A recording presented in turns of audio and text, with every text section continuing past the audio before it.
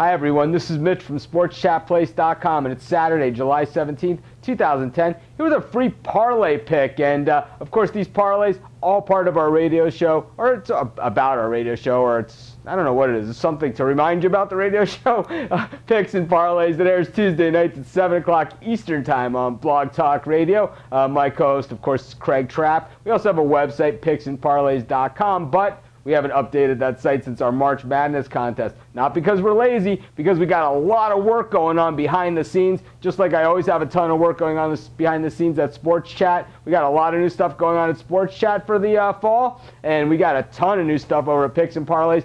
Totally independent of each other, totally different material, totally stuff that you guys are going to like because uh, it's what you guys have told me you wanted over the past several years. But uh, in any event, uh, the, the radio show airs Tuesday nights at 7 o'clock Eastern Time on Blog Talk Radio. If you can't listen to it live, you can always listen to a rebroadcast by going to Blog Talk Radio and typing in search for Picks and Parlays or by downloading the podcast on iTunes. But one thing you, uh, if you download the podcast for, would be this parlay pick because it'd be too late. Uh, you definitely want to jump all over this one. This one looks like easy money. It's a three-teamer. San Diego Padres, the Florida Marlins, the LA Angels. Uh, I, I, really like this one. You get, uh, you know, we, we love Josh Johnson pitching tomorrow for Florida, and uh, there's no there's no other way you're going to make money on him. Even laying a run and a half, you can lay a run and a half with him in this parlay, boost it up even even another notch. So uh, this is Mitch from SportsChatPlace.com. Thanks for joining me. Be sure to check out picks and parlays, and be sure to check out all of our sports picks, write-ups, and action